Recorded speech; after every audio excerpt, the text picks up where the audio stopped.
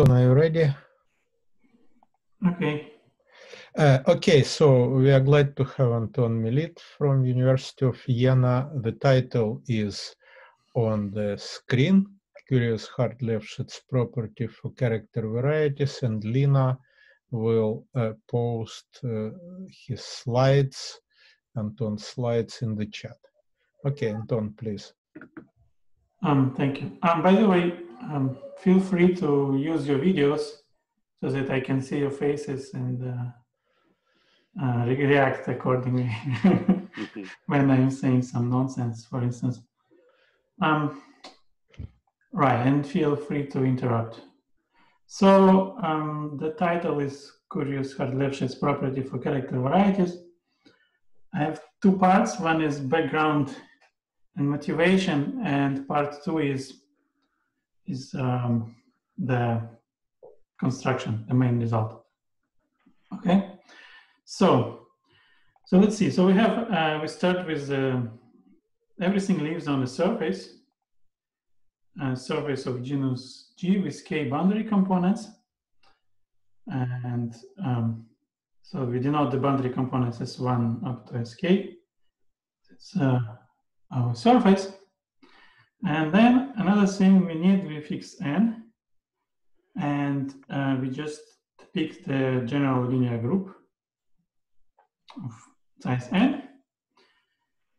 Uh, the um, G modulo center will be denoted PG, the PGLN, and and then we also fix conjugacy classes, uh, one conjugacy class for each boundary component. And with this data, we can define uh, the character stack, which is uh, uh, here. So, so uh, XB is the character stack. It parameterizes uh, homomorphisms from the fundamental group to our group G, and uh, such that each boundary component is sent to the corresponding conjugacy class. And this is all viewed up to uh, the conjugation by the PG group, by the group PGLN. So um, there is a equivalent description um, using matrices. So this XB parameterizes 2G plus K tuples of matrices in G, uh, such that this product of commutators. And then, uh, so you have G commutators, and then you have K matrices corresponding to the boundary components. The product must be one. Right, this is coming from the description of the fundamental group of sigma. And, and these uh, MIs are restricted to, to the corresponding conjugacy classes. And again, all this is up to the conjugation by by G, uh, by PG. So B stands for Betti, yeah? Yeah, B stands for Betti. There are other versions of this space. Okay, very good.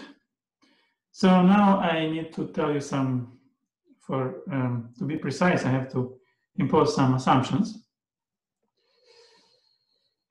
Uh, so, um, the conjugacy classes are assumed to be semi-simple, which means they are represented by diagonal matrices. And you should think about this conjugacy classes as follows. You fix the multiplicities. So some eigenvalues can repeat. And then, but the values of the eigenvalues are still can be still chosen and they are assumed to be chosen chosen generically. If you want, you can think about it naively. Generically means some just random things without any any conditions. But if you want some more precise version, more precise condition, then I want that, um, oh, I forgot here that the product of determinants of Ci are equal to one. So um, this is certainly a necessary condition for any homomorphism to exist. Uh, because if you look at this condition, at the um, at this condition, uh, taking determinants imposes that uh, implies that product of determinants of m's must be equal to one, and that's why we have this this condition. And then um, and genericity means that, okay, this is a little bit technical. So if you choose any number m between zero and the total dimension, and if you choose arbitrary sub-multisets of the eigenvalues of Ci, so of size m, then the product of, of the values should be not equal to one. So this condition guarantees that our local system cannot have a sublocal system because if it had such a sublocal system, then the determinant condition would be violated. Okay, so so this is pretty standard in this business this genericity assumption. For instance, if you read papers by Hausel, uh, Letellier, Rodriguez, Villegas, and they will have this assumption.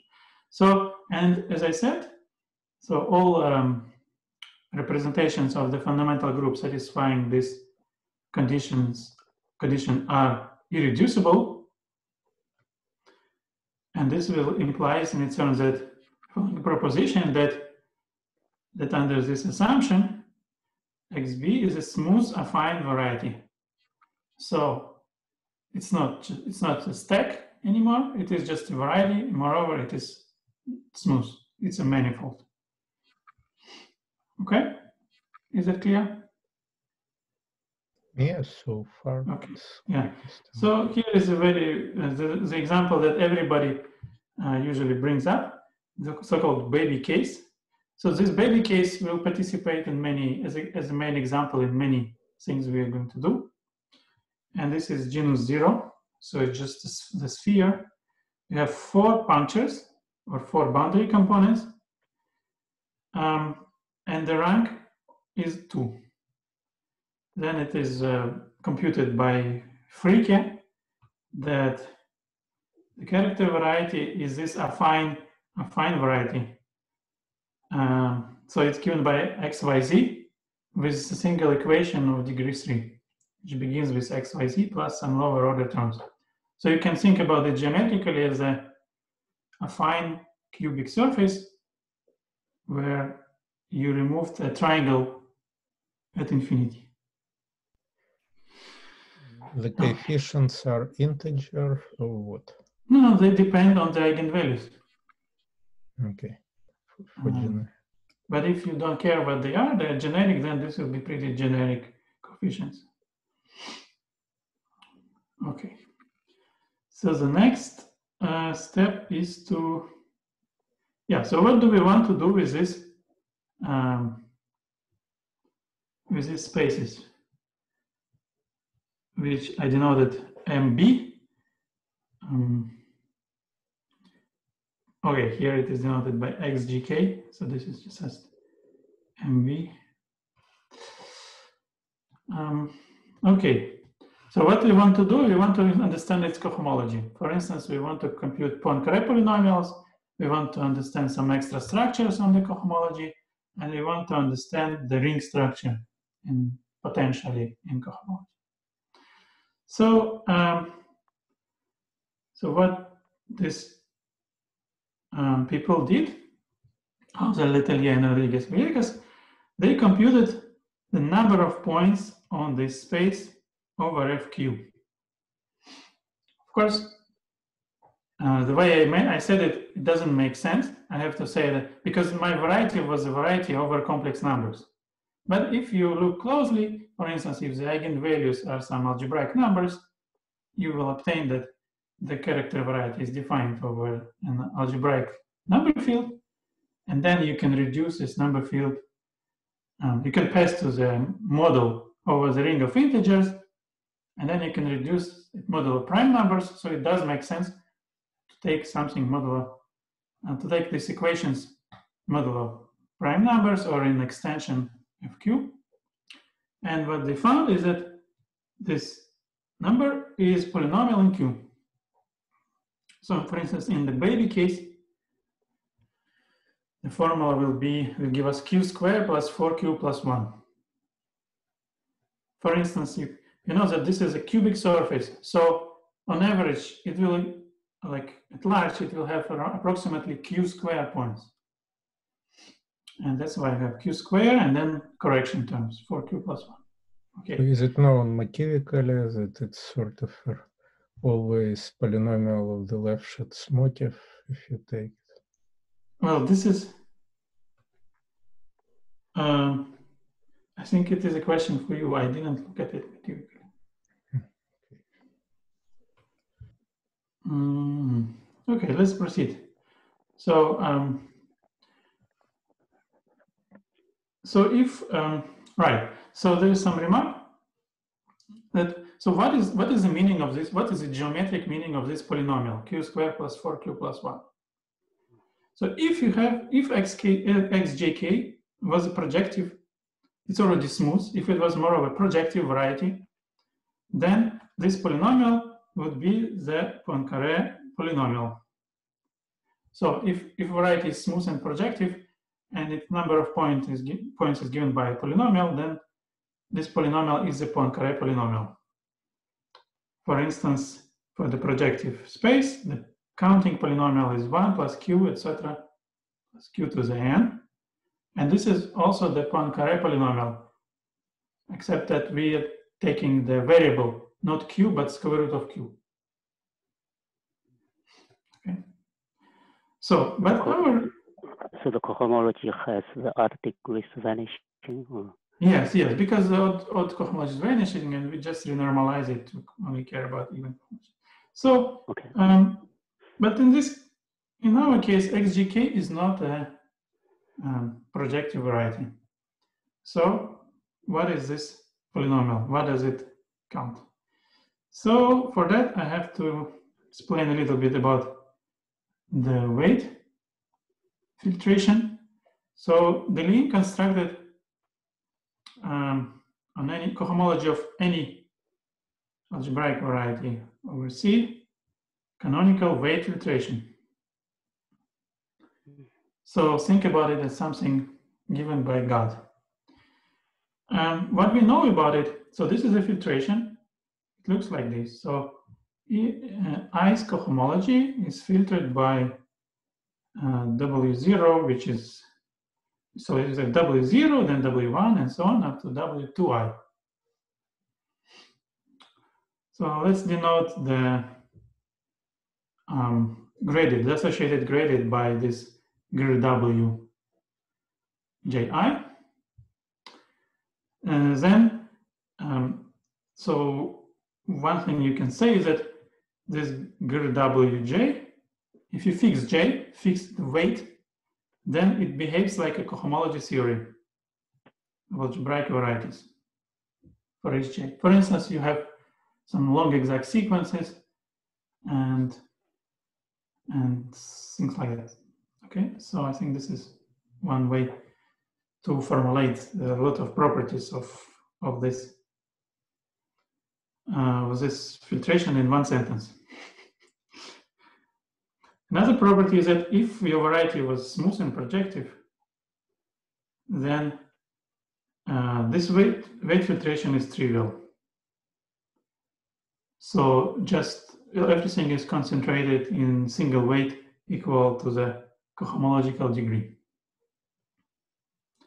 So, so this, the last two things already, um, if you know right tools, you can compute cohomologies, compute weight, this associated gradient for the weight filtration. You have to somehow express the cohomology of your space in terms of cohomologies of smooth and projective varieties. So next, so um, another thing is that somehow this weight filtration explains uh, the point counting. In particular, if if a number of points is a polynomial of Q, then this polynomial co coincides with something which is called E polynomial and defined as follows. So um, don't worry about this normalization on the left. You can see that what I did, I just took the Euler characteristic of, of uh, this W for each j, and I multiplied it by q to the j over 2. So if you have sequence of cohomology series, we can take Euler characteristic in any of them and get a number. Now you get the numbers, that, that's the epolynomial. So what happens in this, um, what happens in this baby case about P1 with four punctures, the cubic surface.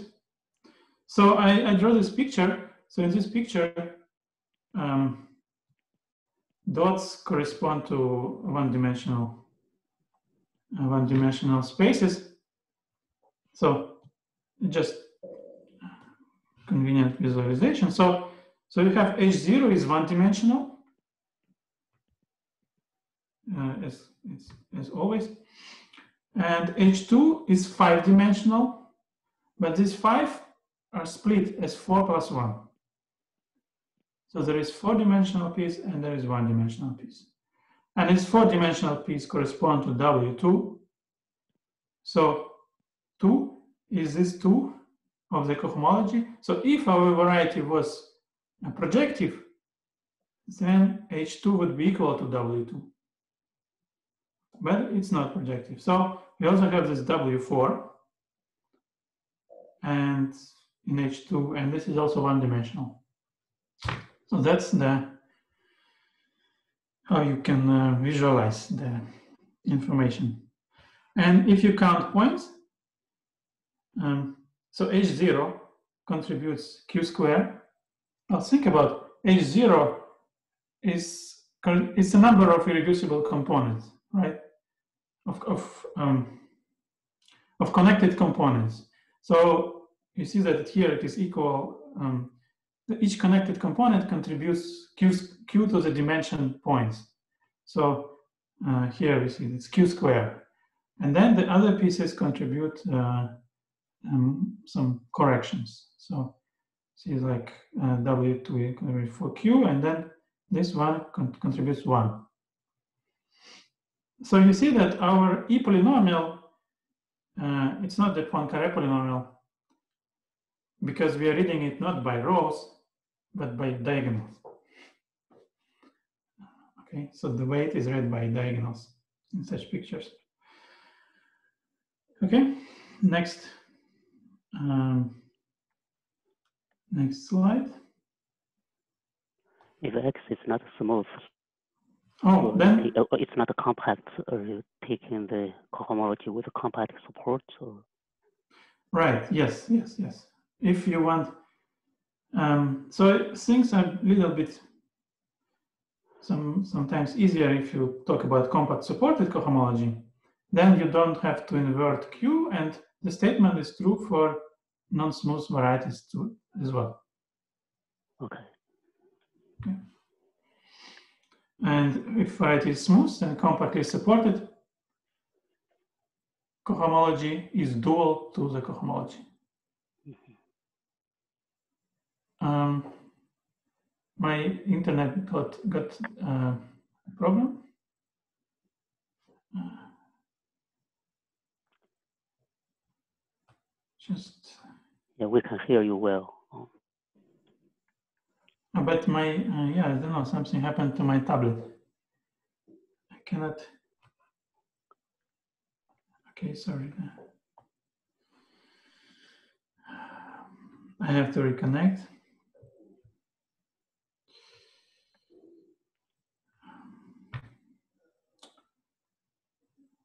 Mm, you can ask a question while I'm doing that.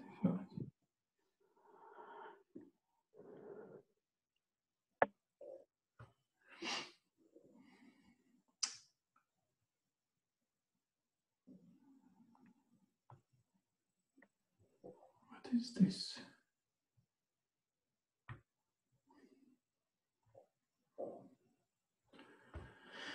Okay, I need to reconnect the Wi-Fi.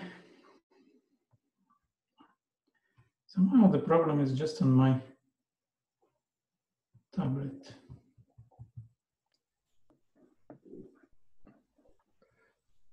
In the very last resort, you can uh, read it from your Yeah, yeah, tablet, sure. And people change slides according to your instruction. Yeah, yeah. Okay, let me check that internet is working. Okay, now connect to Zoom. Oops.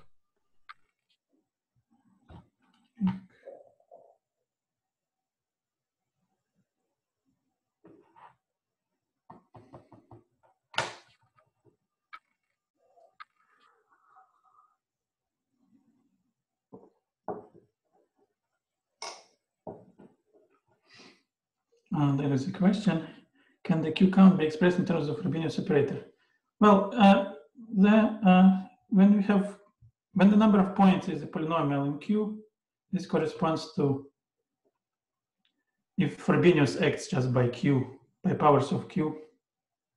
So it's not so interesting. But yeah, so in general, the weight filtration is compatible with um, with Frobenius in the way that uh, the weight indicates the size, absolute value of the eigenvalue. Okay, let's. Um,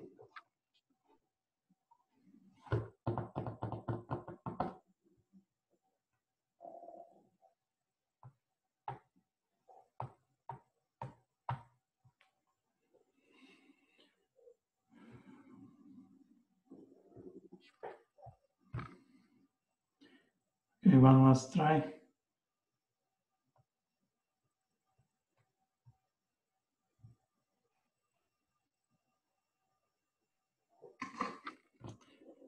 Really weird. Can you let me in or is it somehow closed?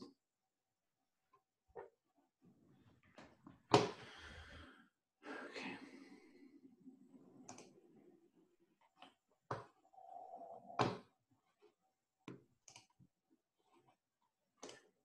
Okay, I have to do it the other way.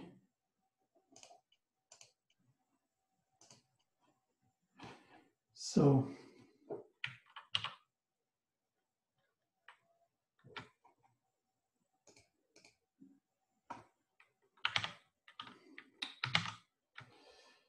share screen. Okay, now can you see my screen? Yes. Yes. Yeah, Can you even- see my, yeah, my you- pointer as well? yes. Yes. The only thing is that again, I don't see. Let me. I don't see the full screen eh, because it's somehow. Yeah, it looks it look it looks his display larger, so he can move up down. It's much easier to read this way. Oh, no, I, I, I, it's not, it's, I think you see full screen. I didn't open the- the whole But you thing. can move. Yeah, yeah. That look. This looks good. Looks very Yeah, good. okay. uh, Yeah, can you see now? Let's see. Yep.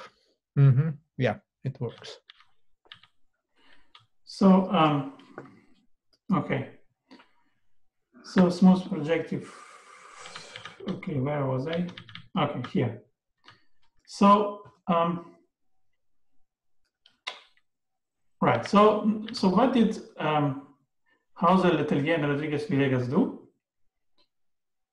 They uh, uh, there is a formula, explicit generating function formula for the e polynomials of all character varieties. All character varieties of the type that I consider. So they counted points over finite fields.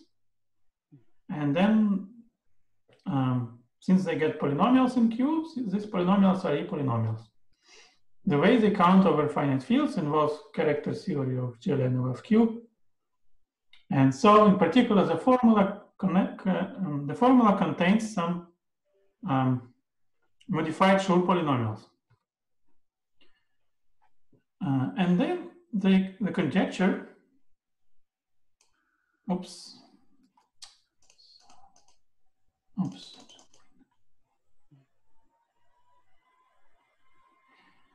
Um, the conjecture formula for the two variable deformation of the uh, of the C polynomial, which we, we call mixed Hodge polynomials of XB. So this, um, if E polynomial only contains information about the weight filtration, the mixed Hodge polynomial contains both weight filtration and the cohomological degree.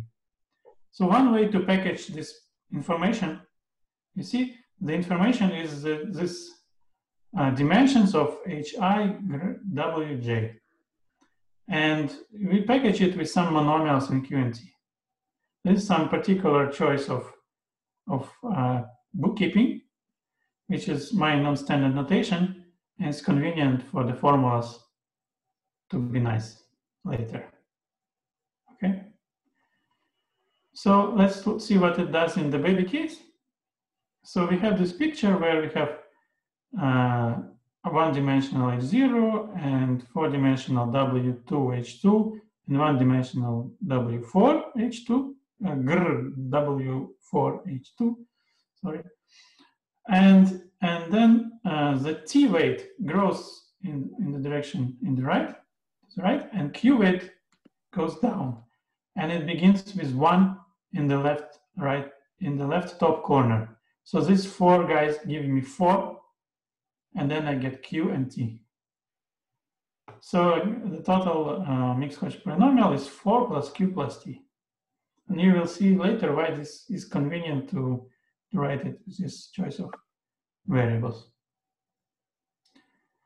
So, by the way, in Khovanov homology business, there is also some natural choice of variables and some unnatural, but which is has nice formulas. So this is similar here. Okay, so uh, I want to make a few remarks.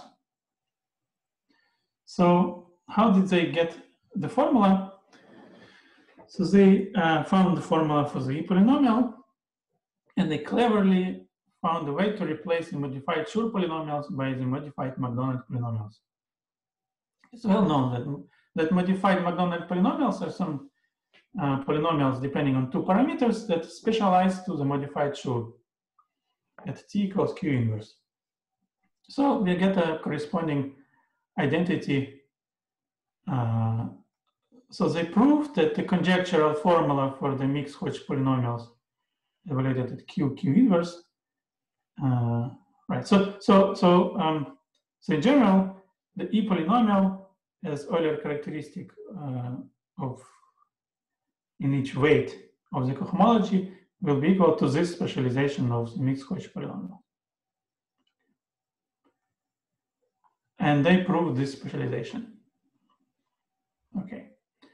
So um, this appearance of Macdonald polynomials hints on the connection to, to the Hilbert scheme of C2. And indeed, uh, the formula you can interpret in a straightforward way as certain index of some uh, equivariant vector bundle on the Hilbert scheme. Yeah, but on on the baby example, I mean, is there any? Of course, yeah, it's not trivial to get the actual polynomials from the formula. I mean, there is something, and then you have to take logarithm of some generating function. So, um, right, you know it very. Well,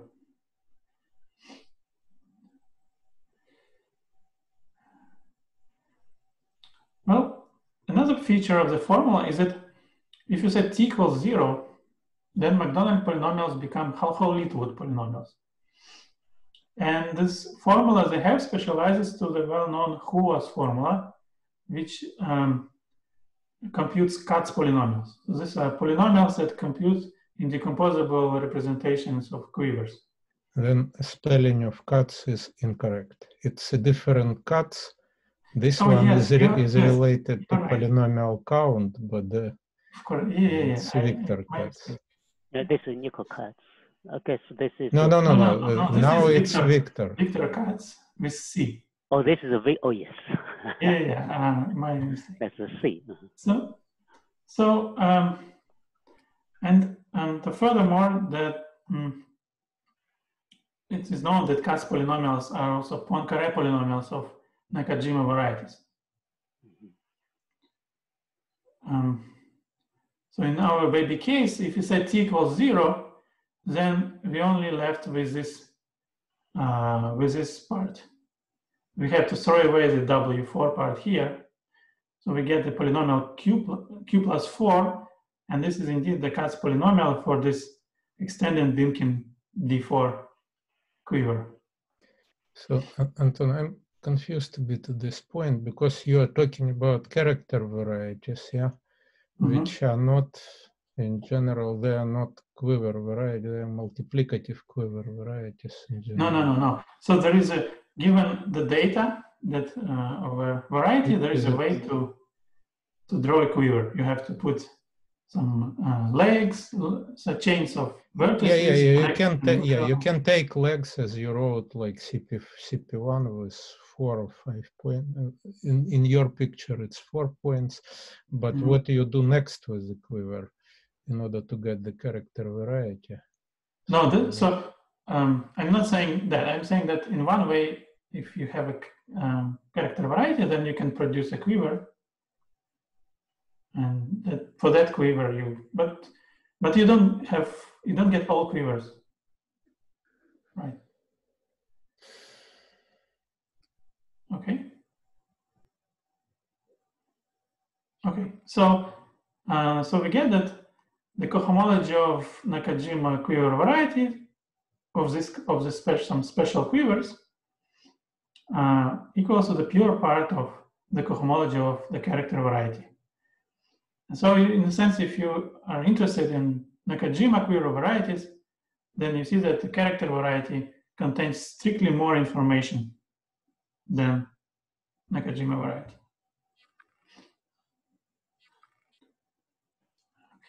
So more remarks. Um, so, um, so Schiffmann uh, computed the Poincare polynomials of, of character varieties.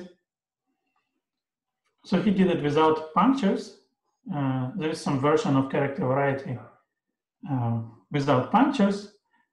Um, so remember that Hausel, Letellier, Rodriguez, Villegas computed this E polynomial, which is t equals q inverse specialization. The Poincare polynomial is t equals one specialization. In other words, we read our table by rows. And then I uh, verified that Schiffmann formula matches with Hausel Letellier Rodriguez Villegas formula in specialization, not only for case without punctures, but also the case with punctures. So, okay, so this is just another verification of the conjecture. But the main thing we want to talk about is the symmetry between Q and T. So if you look at, at the, our baby picture, then you see that the picture is symmetric with respect to the diagonal. Here is the diagonal. And this results in our mixed Hodge polynomial being symmetric in Q and T. And this is some, um, I mean, it's interesting thing that follows from the, from the conjecture.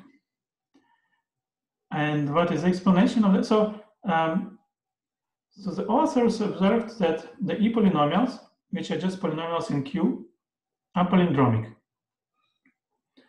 So remember that the polynomial in Q was obtained by reading these diagonals, summing up in the diagonals, and uh, you see that symmetry implies that the polynomial is palindromic. So they were I'm wondering what is the explanation of this palindromicity of the polynomial. If you know, usually if you see a polynomial which is palindromic, then you want to uh, interpret it as a Poincare polynomial of some topological space, compact um, topological manifold. And then by Poincare duality, you will get uh, the palindromicity. But our polynomial is not the Poincare polynomial. so that's why it is called, so that's why the, the word curious. And they were suggesting maybe there is some curious Poincare duality, which uh, pairs up not the cohomological degrees, but the weights. Then, um, so de Cataldo, Hausel, and Migliorini uh, computed some other moduli space, um, the Dolbeault moduli space, and there you have, they found this perverse filtration on the cohomology, and that perverse filtration, so, so there was symmetry with respect to the perverse filtration. And so the another candidate for the explanation is curious Hard-Lefschetz explanation of the symmetry. And so what do they say is that if you have perverse relative Hard-Lefschetz, so you have, I mean, sorry, have perverse relative Hard-Lefschetz uh, on the, the Dolbeault side. If you have also so-called P equals W conjecture, then this together would imply curious Hard-Lefschetz. I will say what curious Hard-Lefschetz is more precisely a little bit later. This is just an overview part. Okay, so so there were two indications for the curious Hard-Lefschetz so far. One from formula, another from P equals W. So next thing, uh, let's discuss some some parallels to Khovanov-Rozansky homology of links. So these parallels are really abundant. So one thing is that is similar. Remember that before setting T equals Q inverse, we got some kind of simpler invariant which, which was easier to compute. The same happens here. Uh, if you set T equals Q inverse in generating function for Khovanov-Rozansky homology of a link, you get Hom-Flip polynomial. Hom-Flip polynomial, which can be easily computed by, let's say, I don't know, using Hecke algebra or, or resolving every crossing and so on. So um, another similarity is that you have Macdonald polynomials. You have formulas with Macdonald polynomials and connections to Hilbert schemes. So this is by uh, Gorsky, Negut, uh, um, Rasmussen, Oblomkov. Many people did this, uh, uh, for instance, for torus links and knots. There were uh, formulas, explicit formulas involving Macdonald polynomials. Um, and the third similarity is this QT symmetry. So this is conjectural symmetry for Khovanov-Rozansky homology. And, and let me just speculate that, so this suggests that we should put the theory of character varieties next to link homology and include it in some more, some kind of unified theory that treats both in uh, somehow includes both the special cases.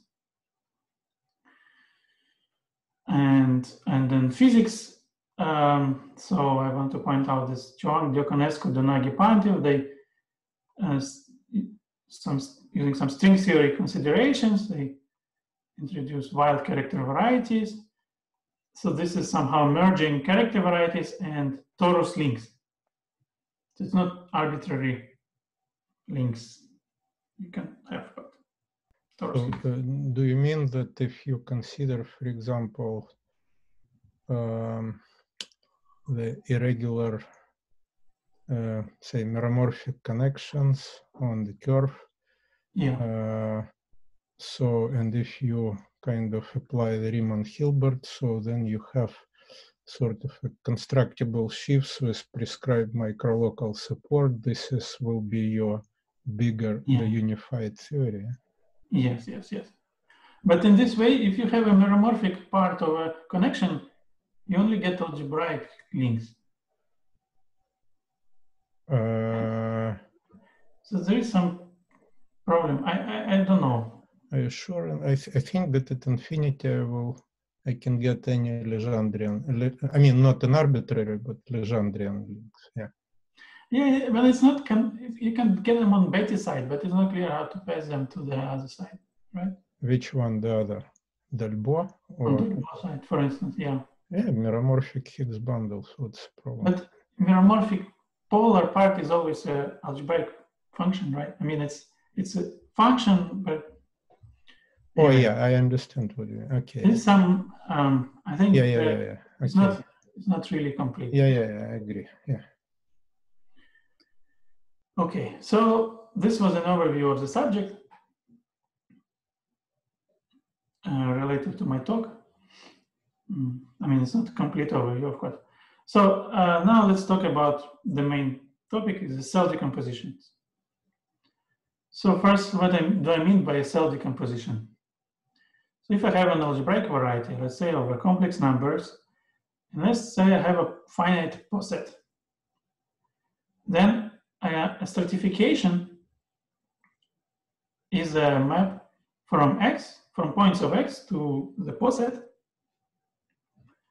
such that um, every for every point in the poset, the set of points which go below alpha, so for every alpha in the poset, the set of points go below alpha is Zariski closed. Okay, so you can think about it as as some collection of Zariski closed subsets which are organized in some way.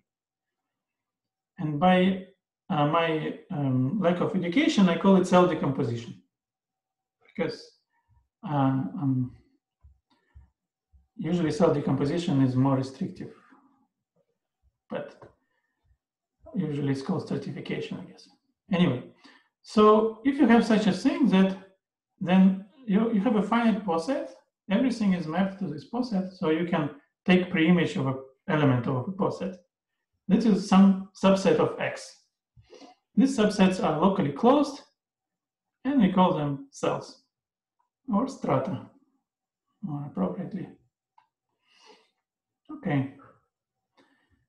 So, I mean, if you like, you can make, choose a linear uh, order on the poset, complete linear order, and then you just get a sequence of closed subset, increasing sequence of closed subsets. So it's just that keeping the poset in mind gives a little bit more structure. Okay, so, so associated to such uh, stratification, we can use the idea of some induction. We can somehow try to understand the cohomology of the whole thing from homologies of the of cells. And here this uh, is the description of the induction step. Sorry, I missed. Uh, they are cells or they're just a strata? If you think cell is something contractible, then they're not cells. Okay, good. But I just by abusing language, I think about them as something simple. That's why I like to call them cells. Okay.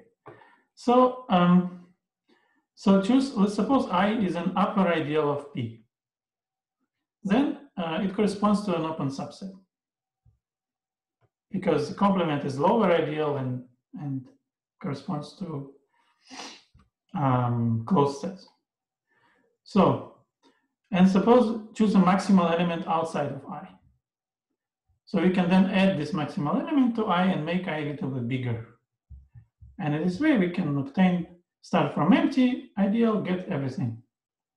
That's our, um, so then, so this I prime is a new bigger ideal, it's called, it's also upper ideal, and um, the complement of ui in ui prime is a closed set, which is a cell sigma inverse i. So it's not closed in X, but it's closed in, in the in ui prime, in the open set. So this is a picture. So we have small open set, bigger open set, and the complement is a closed set, mm, the alpha.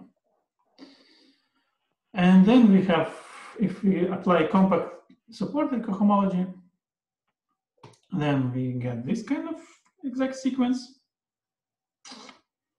And you see that if you know the alpha, if you know ui, alpha and ui, you can try to get ui prime, the cohomology of ui prime.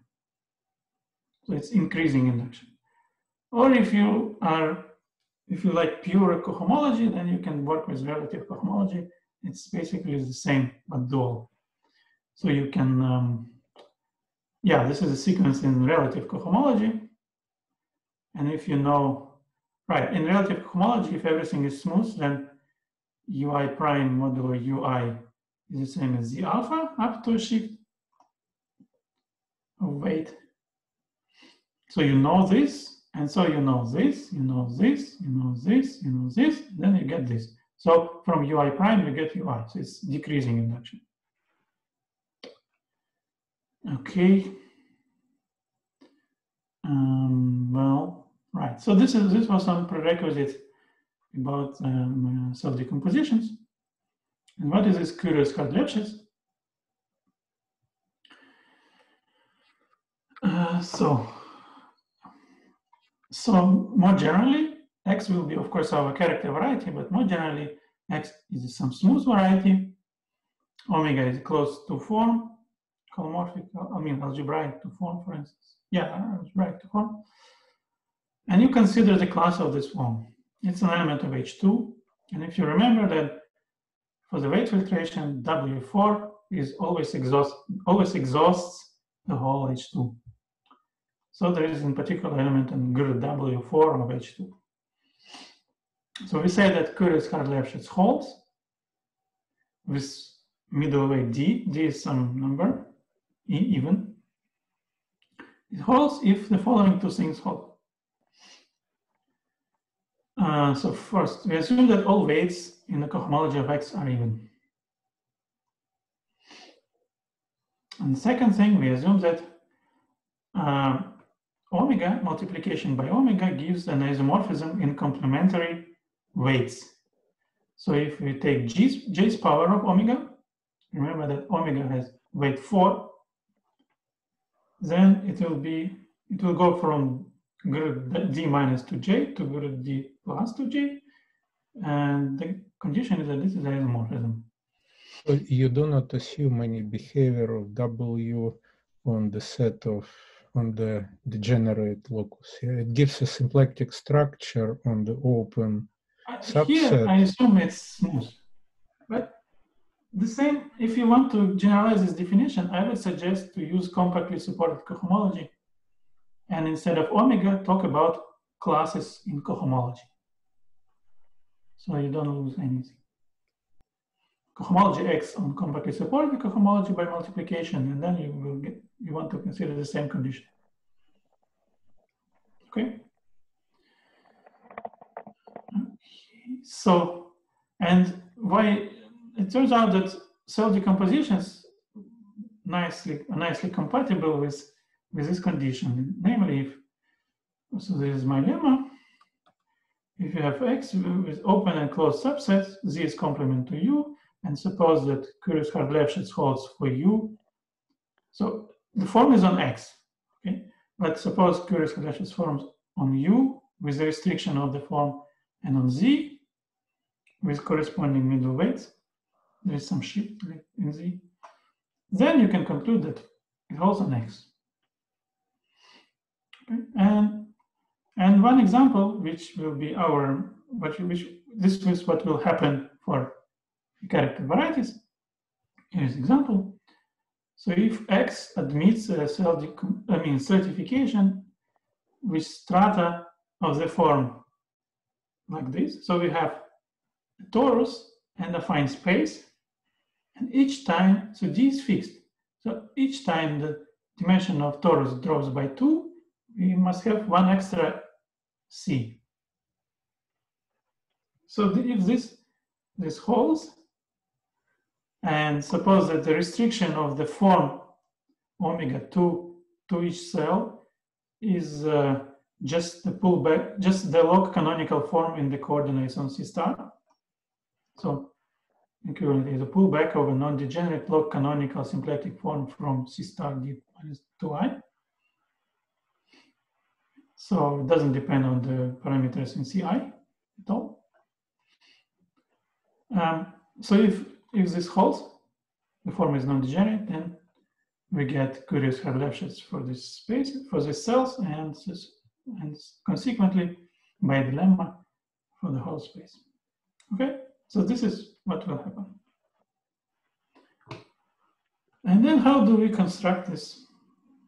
Um, so let's see, this is my, okay, yeah. So Actu- Actually, uh, sorry, actually, I mean, on your previous slide, maybe this is also happens for your generalized uh, theory, which you kind of included.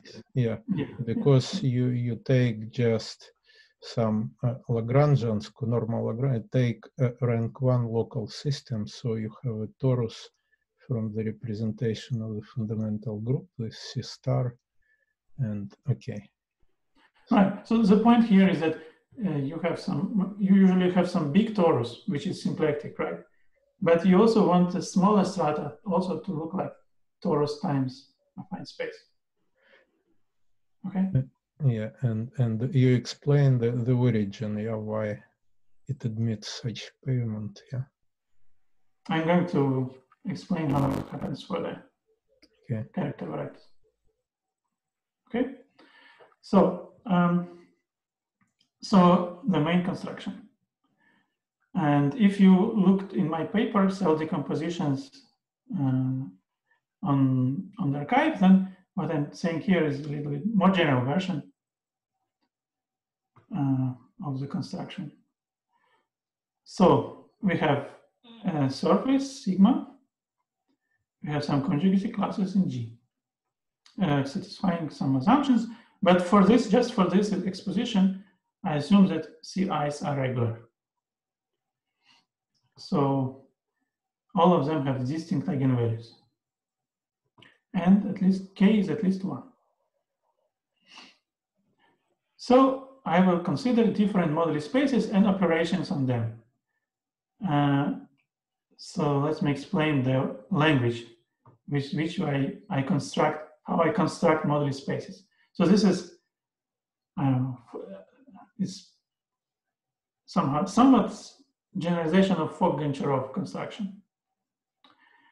So we will have some pictures. So on the left side, I, I, I uh, drew three different uh, um, primitives for my pictures. Picture will have some vertices, some edges, and some polygons. And they are glued together in a surface. And then there are labels. So on vertices, you can put a subgroup of G, arbitrary subgroup of G. And the meaning of that label is that in the end, after we, when we construct the moduli space, we will divide by the action of, of the subgroup. So if H is a subgroup, we will divide by H. So the, the answer, the result is some kind of stack. We divide some space by some group. And this means we divide by H. Now if you have some H connecting two vertices, labeled H1 and H2, and you, so you can put the label Z, which is a H1, H2 invariant subset of G. So H1 is on the left, H2 on the right, and you consider a subset, invariant subset. And the meaning in the construction is that for each H, you associate a variable which runs in this subset Z.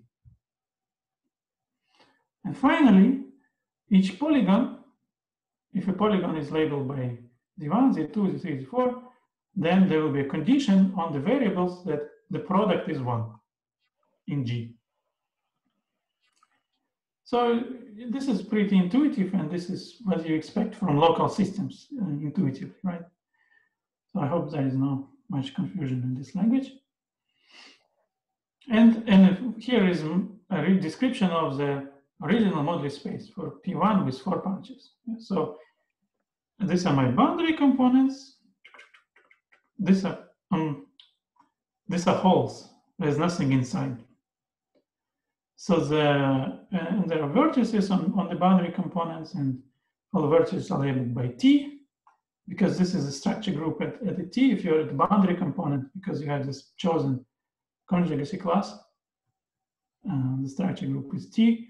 Then the edges are labeled by G. And, and the, the loops on the boundary, along the boundary are labeled by uh, C, the conjugacy classes. And there is one polygon in this picture. This is a complement of the, once you make the cuts along these edges and along, so you remove the boundary components, make cuts, you get a polygon. And so there is one polygon and many edges, many four vertices. Okay, so it's pretty clearly intuitively that this corresponds to the original moduli space. And what we do is that we first we replace t by b. And this is um, um, pretty clear intuitively that the moduli space doesn't change provided that C's have distinct eigenvalues. Okay, so in the end, we have this, after doing this, we have some edges labeled by G, some vertices labeled by B, and we always prefer B over, over T. Does it in, in the Fock-Goncharov language mean that you choose a full flag? Uh, yeah, yeah, exactly. Yeah, geometrically, that's the meaning, precisely. Okay, and then we do some operations with these pictures. So if we see an H labeled by G connecting two B's, then, well, these two B's act on G. So we can just decompose G into orbits, into BB orbits. And there is finitely many orbits parameterized by permutations. So we, the moduli space is, is then stratified by permutations. And now each stratum, um, uh, so now um, we get things like this B each for, for each stratum and BWB on the edge a subset. We will abbreviate BWB by W in the future. Okay, next, second operation. So here, for instance, we will decompose, decompose, and we will have just some W's instead of G's. What do we afterwards? What do we do afterwards? So whenever we see BB connected by BWB, and W is some permutation, if we can, for a re reducible decomposition of the reduced decomposition of a permutation as a product of two other permutations, we can split this segment into two segments. Also, it's clear that this doesn't change the moduli space because this is for, for a reduced product of permutation, we have this property. Okay. So we can uh, decrease length of permutations by, by doing that. And finally, another step, uh, introducing new chords. So if you have any polygon, we can just add a chord connecting any two vertices and label it by G. This also doesn't change the space because the, the thing sitting on G is forced to be just the product of guys going uh, on the boundary from between the two vertices of the chord. So what we get in the end, we can always arrive at a triangulated surface such that all triangles are like have labels of two kinds. The first type of triangle is when you just have one H product of the other two, uh, and it is a reduced product. Such triangles are not so interesting for us, for us, and we call them removable. And the only interesting triangles that can be left are triangle with edges labeled by S, where S is a simple reflection. So, and this is our, abelianization theorem, which then implies everything. So, so remember you start with some moduli space, which corresponds to some picture, some surface, and you do this cutting and um, and so on. And in the end, you get many pictures, but each picture has only these two kinds of triangles. So we want to understand what each triangle, how each such uh, each such um, look like. So um, let Z be a moduli space obtained via the above procedure. So Z corresponds to uh, to a triangulated surface where triangles are only of the two types above. What you can do is you can first construct a ramified covering of, of the original surface, where for each ramified uh, triangle, you put a simple ramification point and you use the permutations on vertices to glue the surface together. So you get an n-fold covering of sigma. And you can, by passing from uh, B to T, you can you obtain a obvious map from, from the moduli space to the moduli space of just rank one local systems on the covering. And the theorem says that this is a homotopy equivalent. So this map, and more, uh, so more, uh, more strongly, it says that there exists some other variety z hat, some other stack z hat, such that it is a vector, it, it is affine bundle over both z and and mbgl1. But this procedure of taking affine bundle does not change the cohomology. So for us, these two spaces are somehow indistinguishable. Mm, okay, and and then uh, this proves that, well, um, that the character varieties are chopped into pieces like I said.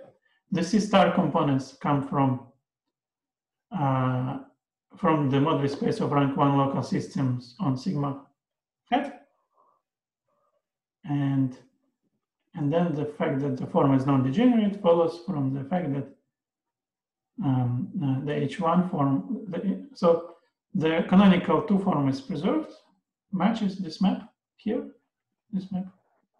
There is a canonical form here and here, and the pre-image of this one is this one. And so you get the non-degeneracy statement for the form. So um, yeah, that's all what I wanted to say. Okay, thank you very much. Thank you. Um, so now it's time for questions. So you can unmute yourself and ask a question.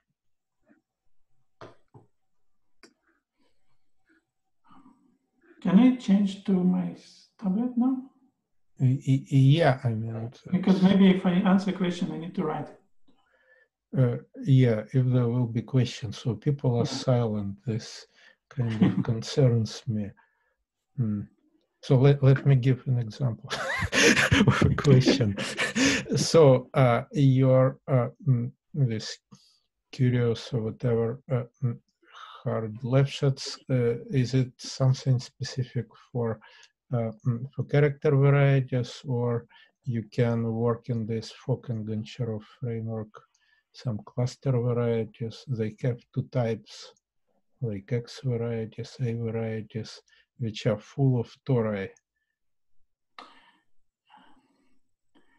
I think we are kind of interested in different perspectives. If you want to cover your variety by tori, then you could read Fock and Goncharov. No, no, no, no. I'm, uh, it's a question about some kind of cohomological consequences for which cluster structure is not sufficient because your uh, strata, they are product of affine spaces and the tori. And in, in, cluster story, you have just sort of a lot of tori C star in the, yeah, yeah so well, which is you Cannot, you cannot compute cohomology using cluster cluster structure. Yeah, that's what I mean. But you can, you can at least yeah. prove some hard. Yeah, yeah. At least I get some uh, information out of it. Okay. Anton, can I ask a question? Yeah, about the construction. So yeah. I understood that you know uh, you had this picture for this um, sphere with four holes, and you cut it, you know, you drew this like you know did the cuts. I didn't understand where the elements of the Weyl group appear how you draw this you know this b w b so that that was a little bit confusing because in your like gauss mm-hmm. example whatever it was uh, it doesn't show up so maybe can you say yeah i was a bit too fast with it here. So uh, let's look at this picture right? So this is the picture that picture that we start with. Now think about it. Every local system on every edge, there will be some element of G. And it will be determined up to left and right multiplication by B. Mm.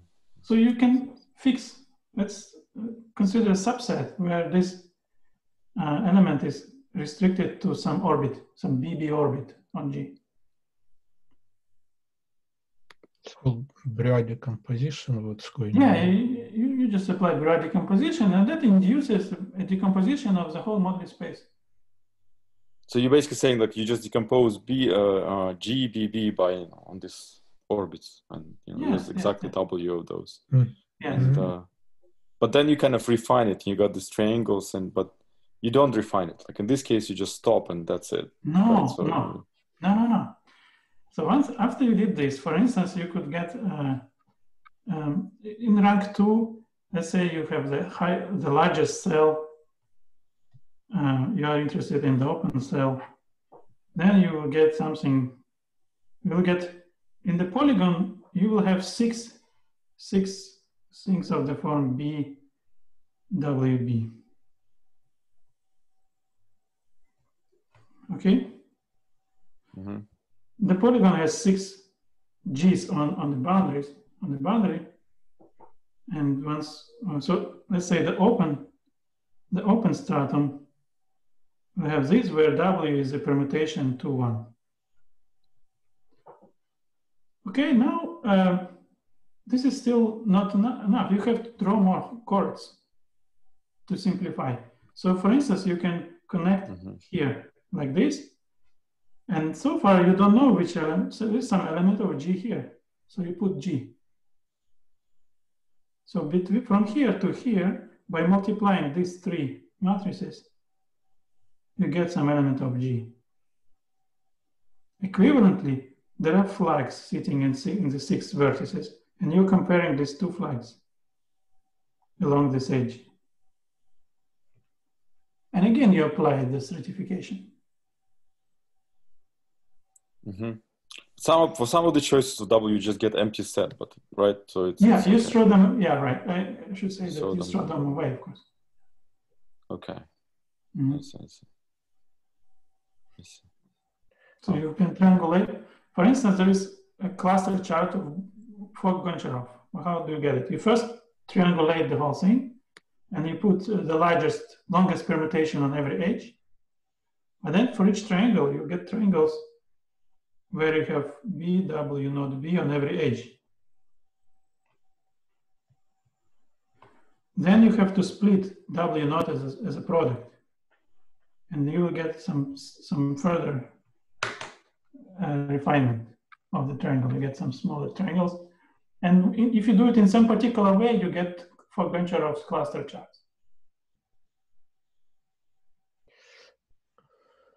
Uh, uh, uh, can can you see this stratification on the Dolbeault side?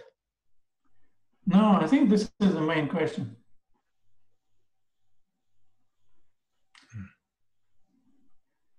That's what the fight is for. Can I ask a question? Yeah. So, uh, if you take a character variety for which you know that P equal W holds, and then maybe you start performing some rational transformation in such on both sides, on Dolbeault and Betti side, in such a way that on the resolution still uh, P equal W holds. But it's not clear if you do birational transformation on the Betti side. uh, how do you get a uh, transformation on the Dolbeault side? I think such a Well, rare. Let's say I would say maybe blow up with just one point that But blow up, if it's algebra, it's an algebraic operation on one side. On the other side, it will be non-algebraic. But uh, I'm just, I mean, take one point uh, that corresponds by the uh, Simpson correspondence to another point on the both side, Or probably. and then just blow that, blow up that point. Ah, if you blow up one point, Yeah, maybe. And maybe take it on, in on the nilpotent cone so that uh, it will correspond to low perversity. So middle, I mean, uh, which uh, since you blow up one point, Mhm. then you have the homology of a projective space that should correspond to low weight also. So I think that in that way, P equals W should also. Could you still obtain a, a, a mm-hmm. cell decomposition in that way, or your cell decomposition is really attached to the character variety? You need a modular interpretation. I know some examples when you can blow up on the Hitchin side and you get, and again, you get a modular space of, Higgs bundles. So, but you, but on the character variety side, this blow up map will be not algebraic. So, um, Well, here is just a blow up. I'm, I'm, I'm not saying that there exists a lift of the Simpson correspondence, but topologically, the two space, uh, they may be still uh, diffeomorphic by uh, another diffeomorphism that is not the Simpson correspondence or a lift of it.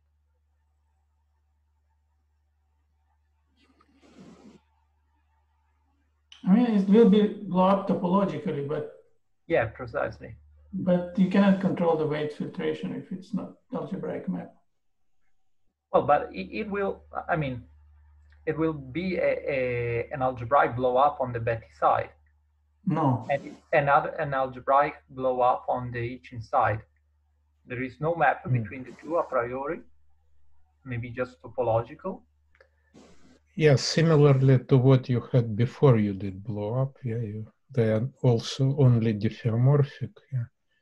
Then you do algebraic, if I understand Mirko correctly, you, Yeah. you do algebraic blow ups on the Dolbeault, on the Betti side, and they are related, but not, of course, by something algebraic or even analytic, but only topological.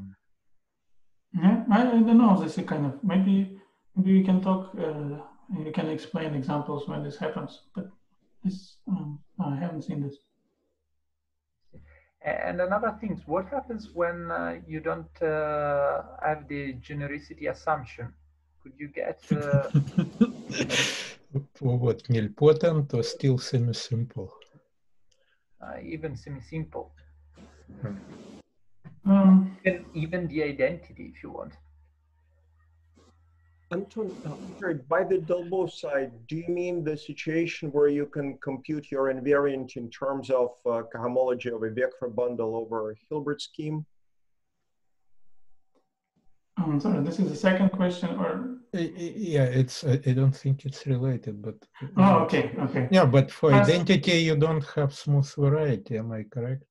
So one point is that everything you you've done, you've done with a smooth variety, which is sort of generalized. No, I mean, you c- no, you can still get the cell decomposition. And hard Lefschetz, this. Yeah, key- but then it's not clear how to think about it. But wh- where are you using the smoothness? Is the Thom isomorphism? Is, is there some other Yeah, place? I think that's not insane. No, you can do on, on singular things. Just there will be some nasty. Yeah, but re- I don't know. to, to this kind of my uh, uh, original question, if you have sort of a decomposition in the pieces which you can motiv- motives of which you can compute, what's the problem with? Yeah, no, there is um, there's no problem from this point of view. Yeah. Ah, but your previous question, what I didn't say is that I do this cell decomposition not in the most general case. I need at least one puncture with a regular semi-simple monodromy. Then there is some other Hmm. argument which allows to deduce general statement from this one by deformation. But this uh, this argument uses a Springer action and it doesn't preserve any cell decomposition, so uh, it's somehow Hmm. non. So you need this regular semi-simple point like to make it to GL1. That's one. That's you know that's how you get to rank one. If you No, I need at least I need I need at least one boundary marked with B, and for that you need. A regular. I, I was asking about the, the singular case because there are some computation of E polynomials in the singular case. In that case, they are not palindromic. So I was wondering whether Um, your insight can explain why there is Hmm. not. I think there will be some correction to palindromicity, but you can trace it. I don't know. Um, again, let's. You, you were saying something with compact supportly cohomology. It's not better to use uh, intersection cohomology in that case. But for me, I need I need this long exact sequences. That's why I need. I see. Anton, do- do you understand the, the Q contribution, the affine part? So your, your strata have this tori part and then this affine part, right? And you're looking at compactly supported cohomology. So I assume your affine part contributes? Nothing. No, it doesn't contribute to the At all? At all. It's just some some weight overall uh, shift and weight weight shift. Yeah, like But- Lefschetz motif. uh, But that depends on your strata, right? The shift will be different for different strata. Right, but so so it, it happens that in this for this Lefschetz property, they all match together with the same shift. Somehow it's all shifted correctly. I see. So you're saying all of, even though the, well, the, the affine piece though has different dimension for different strata, right? Yeah, this is exactly correct dimension for my purpose. And all right, and this is right. So this, so, um, okay, maybe actually this is what is different for the non-smooth case. The shifts maybe will mess. up. Mm, mm, Yeah, I, I haven't looked at it. Okay, also Lev asked a question, Yeah, but yeah. somehow was uh, postponed. Yeah, Leva. Yes, uh, I'm sorry, my, my question was, what is the Dolbeault side? Is that the side where you have, where, where you compute things in terms of uh, homology of, homology of a vector bundle over Hilbert scheme? No, no, no. It's it's the moduli space of Hitch of, of Higgs bundles. This is Hitchin system. That, that's which side? That's the Dolbeault side. Yeah, it's like Simpson terminology. Higgs bundles is Dolbeault, bundles with connections is de Rham, and character varieties is Betti. It's just kind of words.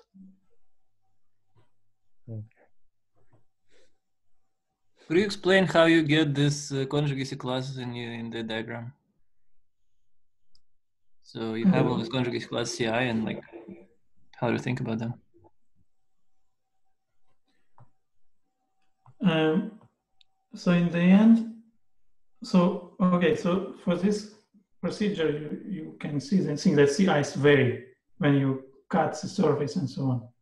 But then in the end, when you prescribe monodromy around each boundary component, you are prescribing a monodromy around each boundary components of the cover. So that's that's how it corresponds. so that the sigma hat will be unramified over the boundary. And uh, so the um, eigenvalues will give you the monodromy of data of, for the rank one local system on the cover.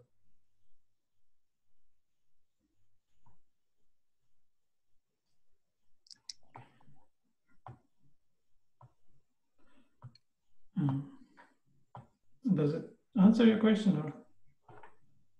I guess. So I guess you have a map to the product of Borels on the for each boundary component. Uh, and then you take pre-image of some of the special point corresponding to conjugate class or I mean, this MB sigma hat GL1, sigma hat has a boundary. So there is a map to MB of boundary of sigma hat GL1, right? Mhm. And there is this map. Mhm. So fixing the, the eigenvalues means fixing point here. Okay. the boundary of, of uh, MB, boundary of, of Z, of sigma, boundary of sigma is, boundary of sigma tilde is just n copies of the boundary of, of sigma. But there you have GLN, it becomes GL1. Mm-hmm, mm-hmm. Mm.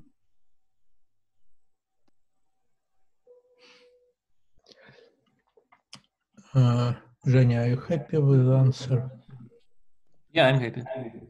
All right. Uh, more questions?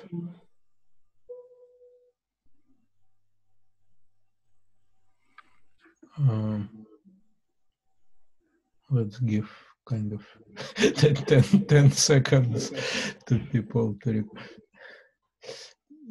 but so you you do not kind of you do not have this more general picture when you have uh, Fukaya categories uh, of, of symplectic surfaces, maybe partially compactified instead of character varieties, which are sort of constructible shifts. You, you do not think in these terms, correct?